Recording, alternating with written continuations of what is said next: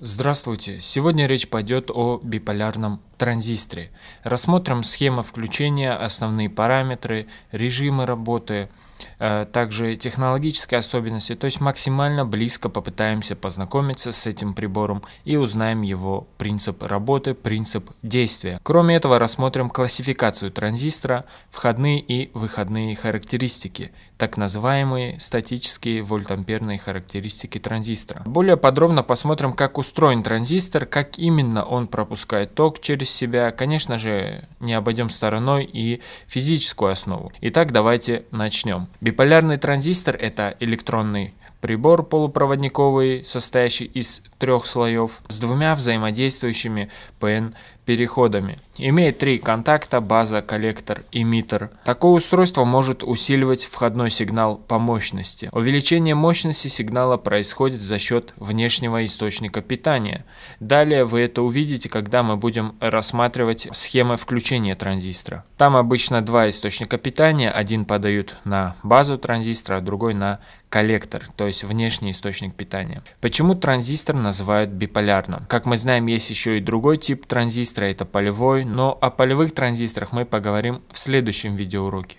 Транзистор называют э, биполярным, потому что через э, прибор, через транзистор одновременно проходит два тока. Один слабый базовый ток – это управляющий ток, а другой основной ток, он управляется базовым током и называется коллекторный ток. Забегая вперед, скажу, что на выходных характеристиках транзистора, то есть зависимости коллекторного тока от напряжения коллектор-эмиттер, мы увидим, что коллекторный ток в линейной области практически не зависит от напряжения коллектор-эмиттер. Скажем так, мало зависит а зависит в основном от базового тока. Изначально изобретателей транзистора заинтересовала именно способность устройства усиливать сигнал по мощности. Они собрали с помощью транзистора усилитель звуковых частот для громкоговорителя и убедились в том, что на э, выходе сигнал больше, чем на входе. Транзисторы изобрели в конце 40-х годов прошлого столетия. Есть э, даже такая книга под названием «100 великих изобретений». Транзистор там на 87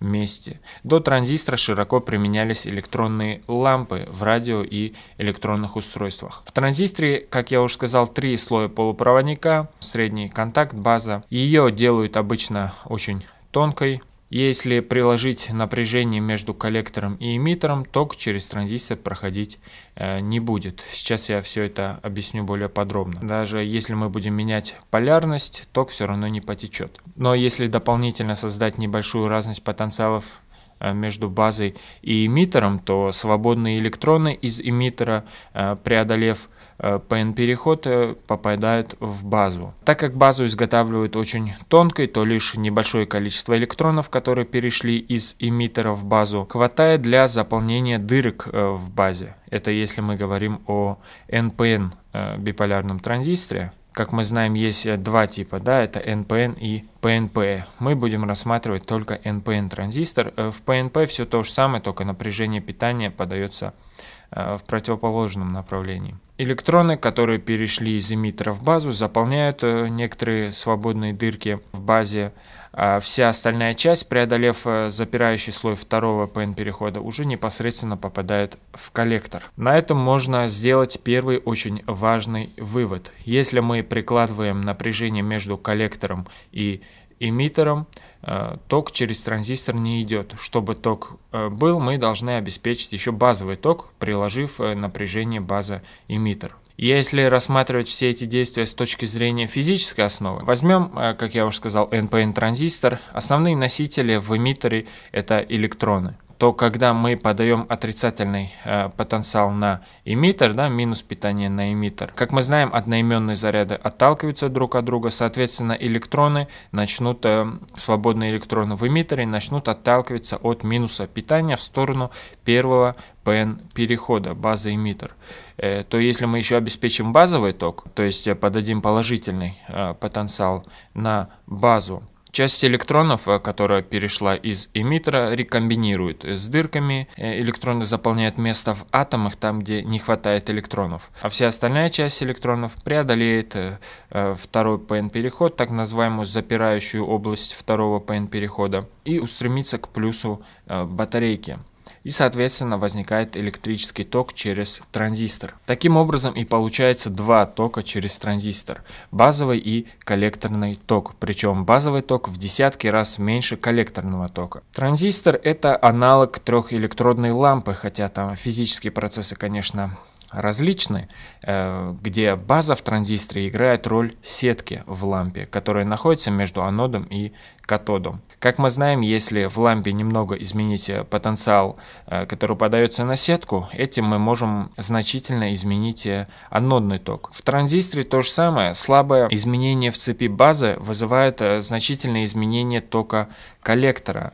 На этой основе транзисторы используют в качестве усилителя и генератора сигналов. Первый транзистор, который изобрели, был точечным транзистором. Э, проводились э, многочисленные опыты. В 1948 году сотрудники американской фирмы Bell по фамилии Шокли, Джон Бардин и Уолтер Браттейн изобрели этот транзистор. На германиевом кристалле э, на небольшом расстоянии друг от друга расположили два точечных кристалла. И подав на один из них прямое смещение, а на другой обратное, они получили возможность с помощью тока, проходившего через первый э, контакт, управлять током через второй. Их транзистор имел коэффициент усиления порядка сотни. Постепенно транзистор совершенствовался, и в 1952 году появились первые плоские примесные германиевые транзисторы. Сначала Германии очищали от примеси, потому что сам по себе кусок Германии состоит из э, большого числа кристаллов, которые э, сращены э, в беспорядке, а затем образовывали монокристалл. Далее плавили, э, одновременно добавляя э, в расплав примеси P или N типа.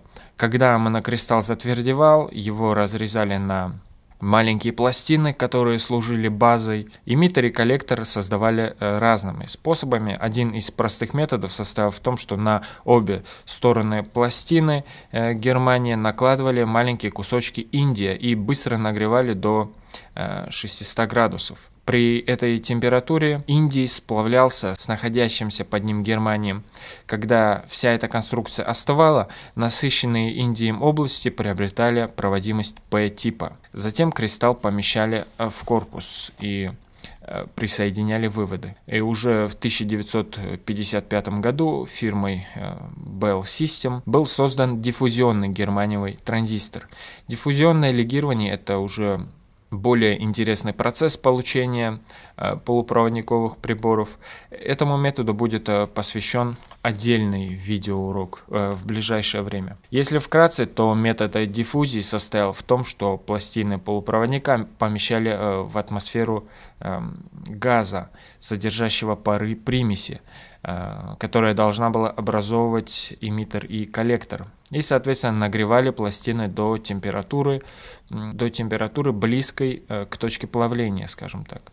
Атомы примеси при этом постепенно проникали в полупроводник. Таким образом, принцип работы транзистора очень похож на водяной кран. Там мы чем больше открываем кран, тем больше идет вода когда начинаем закрывать, вода э, течет все меньше и меньше. Если мы полностью закроем кран, то вода течь не будет. Э, точно так же и с транзистором. Если мы не обеспечиваем базовый ток, то и через коллектор тока нет. Если подадим напряжение на базу, то ток, соответственно, э, появится. Если будем увеличивать э, базовое напряжение, соответственно, будет увеличиться базовый ток, и относительно базового тока коллекторный э, значительно увеличится. Если же уменьшать базовый ток, то и коллекторный, соответственно, будет уменьшаться.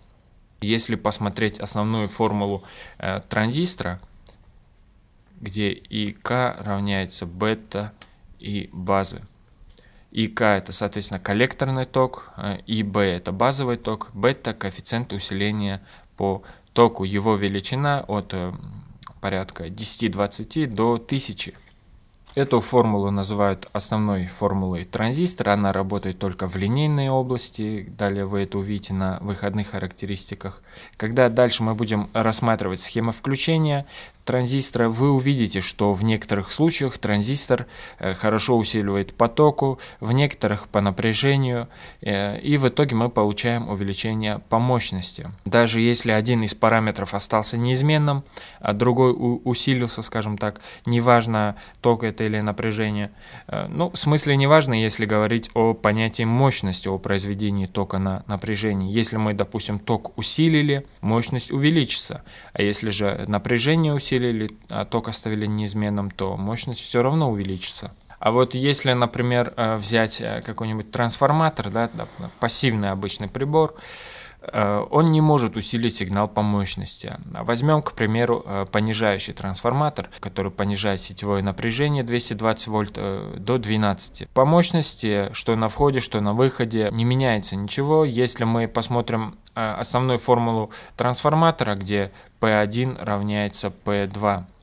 Или можно записать эту формулу также умножить на I1 равняется U2 умножить на I2 где P1 это мощность на входе трансформатора, P2 мощность на выходе трансформатора. Скажем, трансформатор понижает сетевое напряжение в 10 раз, да, то есть э, выходное напряжение у нас уменьшается в 10 раз. То чтобы э, эта формула у нас работала, сохранялось равенство выходного и выходной и входной мощности, мы должны э, вторую часть также умножить на 10. То есть, если мы десятки сократим, у нас как бы ничего не изменилось. Одновременно с тем у нас уменьшается напряжение в 10 раз и усиливается ток в 10 раз. Но мощность у нас не меняется, то есть равенство сохраняется. Ну, вернемся к транзистору. Транзистор, как мы знаем, является неотъемлемой частью всякой электронной схемы, начиная от усилителей, генераторов и до сложной цифровой техники.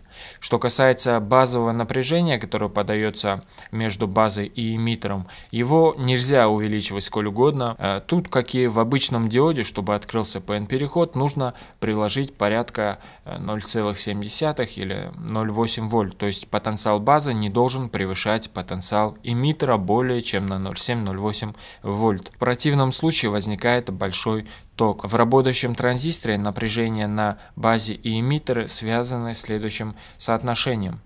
У базы э, примерно равняется у эмиттера плюс 0,7.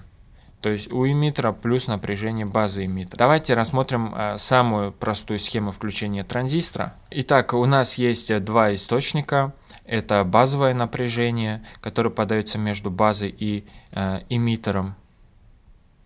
Это NPN транзистор, э, соответственно, и источник питания, который подается на коллектор между коллектором и эмиттером. Базовое напряжение обеспечивает базовый ток, коллекторное напряжение обеспечивает коллекторный ток. Как уже упоминалось, чтобы открылся переход базы эмиттер, достаточно 0,7-0,8 э, вольт. И как мы теперь уже знаем, P-слой э, базовый э, очень тонкий, соответственно, и концентрация дырок в базовой области гораздо ниже, чем концентрация электронов в эмиттере под действием электрического поля, которое создается плюсом на базе. Часть из них рекомбинирует, а для остальной части свободных электронов дырок, скажем так, не хватает, э, потому что концентрация дырок э, намного раз меньше, чем концентрация электронов. Что будет в результате?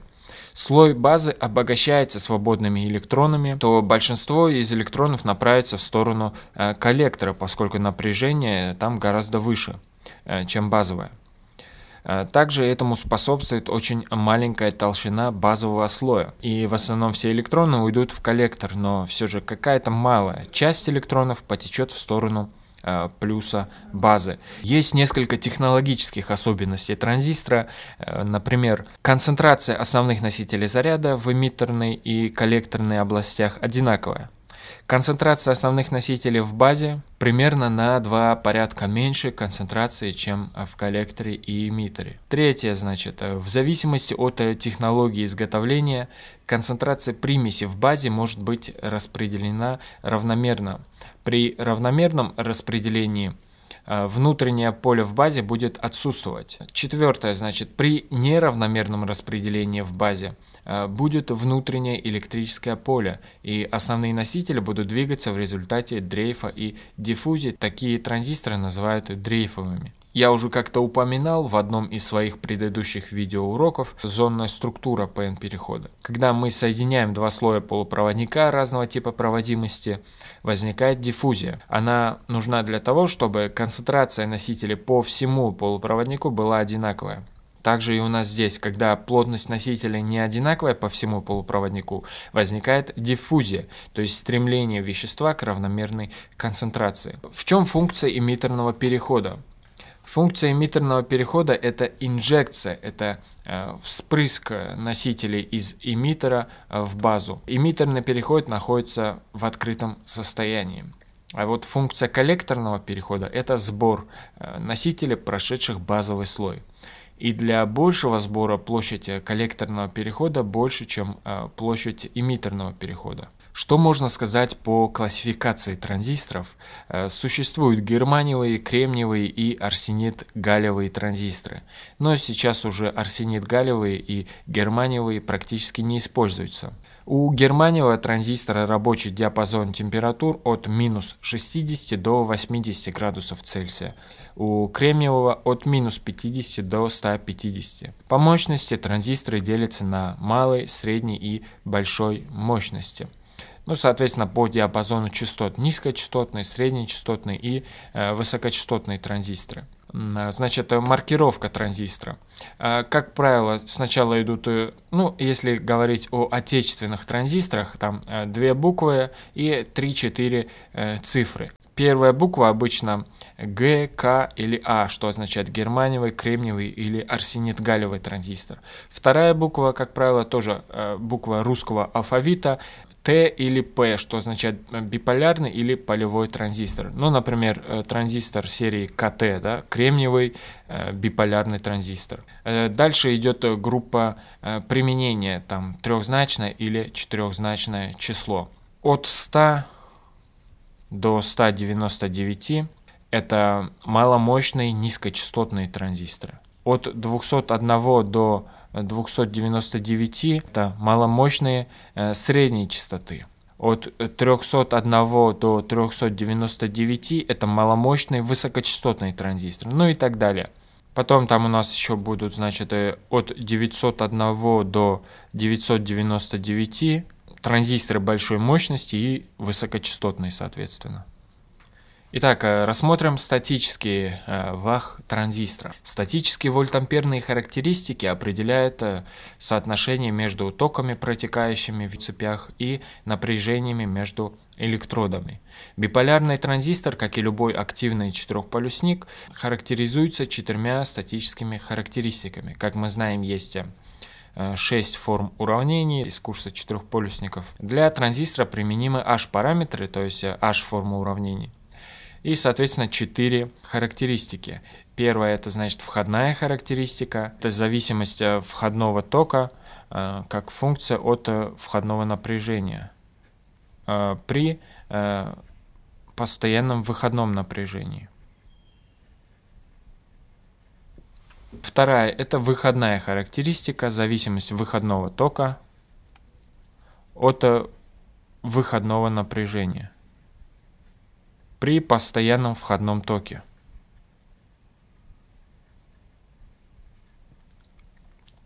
Дальше есть у нас еще передача по току. Это зависимость, э, зависимость выходного тока от э, входного тока. Ну и четвертое это обратная связь по Э, напряжению. То есть это у нас, если посмотреть э, по H-параметрам, да, параметр H1.1 это входное сопротивление э, транзистора, H1.2 это коэффициент обратной связи по напряжению, записывается он так у входа от у выхода при постоянном входном токе. H2.1 или бета это коэффициент усиления по току, зависимость выходного тока от входного. Ну и H22 это выходная проводимость транзистора.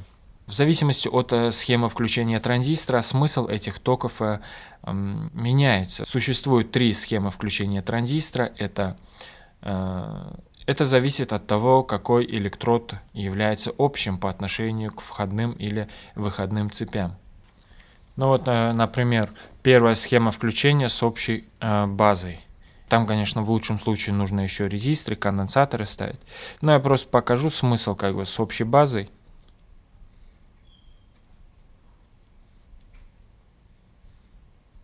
То есть э, база является общей для входного и э, выходного контура. Здесь у нас будет у входа, соответственно у выхода. Здесь входной ток, э, выходной ток. Схема с общей базой, схема включения транзистора с общей базой используется преимущественно в каскадах усилителей э, высоких частот. Усиление каскада с общей базой обеспечивает усиление только по напряжению. Если мы посмотрим, то входной ток будет равен практически выходному току, там даже будет уменьшаться немного. Ну там, если схему правильно нарисовать, там э, с резисторами, то э, после расчета выходного тока мы увидим, что на самом деле Э, транзистор потоку практически не усиливает. То есть э, можно сказать, э, что и коллектор, да, выходной ток будет практически равен входному току. Поэтому потоку транзистор не усиливает. Такое включение позволяет более полно использовать частотные характеристики. Частотные характеристики – это способность транзистора усиливать высокие частоты. Значит, вторая схема – это у нас будет схема с общим эмиттером. Пусть будет PNP транзистор. А, тогда и входа у нас будет сюда. Здесь и выхода. Значит, как мы видим, эмиттер является общим э, для входной и выходной цепи. Значит, схема с общим эмиттером обладает высоким усилением, ну, относительно высоким усилением по напряжению и току. Благодаря высокому коэффициенту усиления схема с общим эмиттером имеет преимущественное применение по сравнению с общей базой и с общим коллектором. Э, третья схема с общим коллектором. Вот здесь будет коллектор общим для входной и выходной цепи. Здесь входное напряжение, выходное, соответственно, входной ток – Схема с общим коллектором обладает высоким входным и низким выходным сопротивлением. Коэффициент усиления по напряжению всегда меньше единицы. Входное сопротивление зависит от э, сопротивления нагрузки. Конечно, как я уже сказал, в таких схемах используют там резисторы, конденсаторы. А я лишь э, показал, скажем так, абстрактное включение, то есть там, где электроды участвуют во входной и выходной цепях. Далее, значит, основные параметры транзистора. Ну, основной параметр это, конечно же, коэффициент усиления по току, это отношение коллекторного к базовому току. Обозначается как H21 или бета. Так, это будет у нас первый. А, значит, для разных типов транзистора бета может э, меняться примерно от 10-20, как я говорил, до сотни, до тысячи. Бета зависит в основном от э, физического строения прибора. А, второй параметр – это входное сопротивление. Э, чем больше э, входное сопротивление, тем лучше для усилительных характеристик прибора, поскольку со стороны э, базы обычно находится источник слабого сигнала, у которого нужно потреблять как можно меньше тока. Третий параметр – это выходная проводимость ну, скажем так, Ж выхода напишем. Выходная проводимость, э, то есть проводимость транзистора между коллектором и эмиттером. Чем больше выходная проводимость, э, тем э, больше ток коллектор-эмиттер сможет проходить через транзистор при меньшей мощности. Четвертый параметр – это частотные характеристики, там зависимость коэффициента усиления транзистора от частоты входящего сигнала. Ну, напишем так, частотные характеристики. А, значит, э, с повышением частоты способность транзистора усиливать э, входной сигнал постепенно падает из-за паразитных емкостей, образовавшихся в PN-переходах. То есть, когда э, меняется сигнал на базе, э, транзистор реагирует не мгновенно, а с определенным замедлением. Время тратится на наполнение зарядом этих емкостей, поэтому на высоких частотах транзистор не успевает мгновенно среагировать и полностью усилить э, сигнал. Величина емкости зависит от, э, э опять же, от типа транзистора. Есть также такой параметр, как э, эмиттерная емкость, то есть э, емкость на переходе базы эмиттер. Ее величина достигает порядка пикофарад. Далее у нас еще есть коллекторная емкость, емкость на переходе база-коллектор. Но на самом деле емкость коллектора меньше, чем емкость эмиттера. Но все же ее влияние больше. Поэтому частотные свойства у коллекторного перехода хуже, чем у эмиттерного перехода. Кроме того, к основным параметрам транзистора относятся э, допустимый максимальный коллекторный ток, записывается так, и Kmax, ну, допустимая максимальная величина коллекторного тока. Также есть э, величина база коллектор, напряжение база коллектор тоже допустимо максимальная. Есть мощность э, коллектора максимальная. Но эти характеристики обычно указываются в самом э, паспорте э, прибора. Есть еще такой параметр, как ИК0 обычно записывают. Это неуправляемый ток коллекторного перехода. Единица микроампер. Э, дельта УКЭ в схеме с общим эмиттером. Прямое падение напряжения, оно, как, как правило, до 2 вольт. Э, еще называют э, такое напряжение называют остаточным. Есть еще много других параметров, которые мы уже не успеваем рассмотреть. Э, значит, рассмотрим режимы работы. Значит, существует четыре режима работы транзистора. Это режим отсечки, активный режим, режим насыщения и инверсный режим. Режимы работы транзистора. Значит, э, первый рассмотрим режим отсечки. Значит, э, когда напряжение недостаточно, чтобы открыть PN-переход базы эмиттер, то есть э, напряжение меньше, чем 0,7 вольт, в таком случае отсутствует базовый ток, соответственно, и коллекторный, коллекторного тока нет – Транзистор находится в запертом состоянии, то есть можно сказать, что э, для PN-перехода существует э, минимальное значение напряжения э, прямого смещения, при котором электроны способны преодолеть потенциальный барьер этого перехода.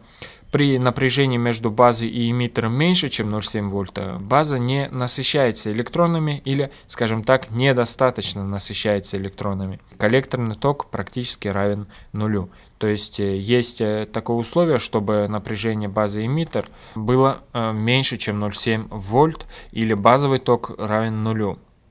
И вот в таком случае транзистор заперт или, можно сказать, транзистор находится в режиме отсечки. Второй – это активный режим – Значит, э, в этом режиме PN-переход базы эмиттер открыт, соответственно, э, присутствует базовый ток и коллекторный ток, где э, коллекторный ток равен бета и база. Напомню, основная формула транзистора и коллектора равняется бета на и базы. Эта формула работает только в активном режиме, в линейном. Значит, в этом режиме транзистор используют для усиления. Это а, основной режим работы транзистора, а, как правило, в аналоговой технике. Третий режим – это режим насыщения. Режим насыщения – это когда коллекторный ток имеет некоторое максимальное значение, и такой ток не будет зависеть от тока базы. То есть э, как бы мы не меняли ток базы, ток коллектора просто не реагирует на изменения базового тока. И, соответственно, транзистор э, не способен усиливать сигнал. Э, в режиме насыщения и в режиме отсечки транзистор можно использовать э, в роли ключа, когда транзистор насыщен, его проводимость максимальна, соответствует э, состоянию включения. А в режиме отсечки проводимость минимальна, что соответствует режиму включен. Поэтому такие режимы, как э, насыщение и отсечки, используют в цифровой технике, только э, там, соответственно, логические единицы да, и нули. И последний режим работы – это инверсный режим, Э, то есть режим, когда открыт э, переход база-коллектор, а база-эмиттер закрыт. То есть э, эмиттер и коллектор меняются ролями. Коллекторный переход смещен в прямом направлении, а эмиттерный в обратном. Ток из базы течет в коллектор. Коэффициент усиления получается хуже, чем в обычном режиме. Вообще конструкция транзистора такова, чтобы он хорошо работал в активном режиме, поэтому в инверсном практически не используется. Ну и наконец давайте рассмотрим входные и выходные характеристики транзистора. Сразу можно отметить, что для каждой из трех схем включения транзистора существуют свои семейства характеристик, поэтому, пользуясь теми или иными характеристиками, надо обращать внимание на то, к какой схеме они относятся. Рассмотрим э, вольтамперные характеристики схемы с общим эмиттером. Итак, это входная характеристика, это выходная. Э, значит, э, тут все э, на входных характеристиках все достаточно просто. Э, используется зависимость входного тока базового от э, входного напряжения базы эмиттер. Э, чтобы открылся PN-переход базы эмиттер, нужно э, на этот переход приложить э, порядка 0,7-0,8 вольт. Это для кремниевых транзисторов. Эта зависимость снимается при постоянном выходном напряжении. При разных напряжениях на коллекторе эта зависимость будет немного смещаться вправо или влево. Вот эта вот левая характеристика снята при напряжении коллектора эмиттера равном нулю, а это уже при 5 вольт. Вот на выходных характеристиках э, э, снимается зависимость тока коллектора от напряжения коллектор-эмиттер, то есть выходной ток и выходное напряжение. Выходные характеристики можно разделить на три области. Первая, вот она, да, это активная область. Эм, это когда транзистор работает в активном, в линейном режиме. Выходная характеристика снимается при фиксированных токах базы и для э, каждой кривой соответствует свой ток базы. В линейной области ток коллектора мало зависит от напряжения коллектор-эмиттер, а в основном э, зависит от базового тока и работает основная формула, и коллектора равняется бета и база. А вторая область это э, когда транзистор заперт, то есть при определенном э, токе базы снимается зависимость тока коллектора от э, напряжения коллектор-эмиттер. Э, коллекторные токи практически отсутствуют, и в этом случае транзистор заперт. Ну и третья область Э, это область насыщения. В этой области коллекторный ток зависит от напряжения коллектор-эмиттер. Область э, насыщения порядка от 0 э, до 0,4-0,5 вольт. Ну, если вкратце, то как-то так.